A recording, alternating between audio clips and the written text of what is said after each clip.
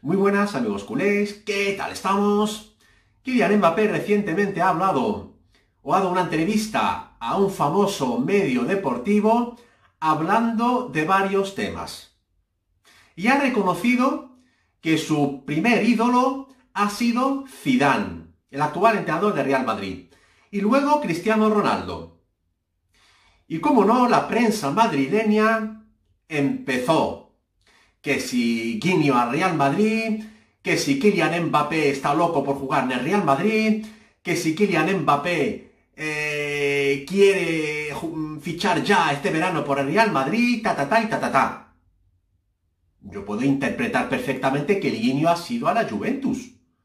Porque que yo sepa, Zidane ha triunfado primero en la Juventus. Y Cristiano Ronaldo está jugando ahora mismo también en la Juventus. Pero ahora viene el Zasca. Hace, hace un rato, Kylian Mbappé ha respondido, para mí claramente, a la prensa de Real Madrid. Ha subido un estado en una de sus redes sociales diciendo textualmente, haré que mi prioridad sea siempre el Paris Saint-Germain y el equipo francés.